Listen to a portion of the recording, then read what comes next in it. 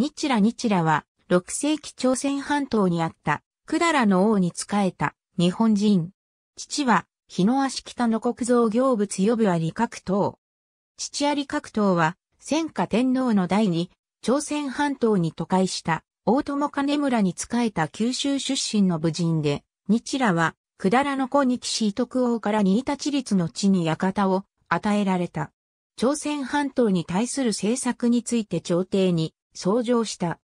その内容が人民を休んじとましめ、国力を充実した上で船を連ねて、意を示せば百済は起伏するであろうことや、百済が九州に領土拡大を図っているので防御を固め、欺かれぬようにすべきこと等の百済に不利な内容であったため、同年12月に、百済国役人の徳次と、あまり奴らによって、南波で暗殺された。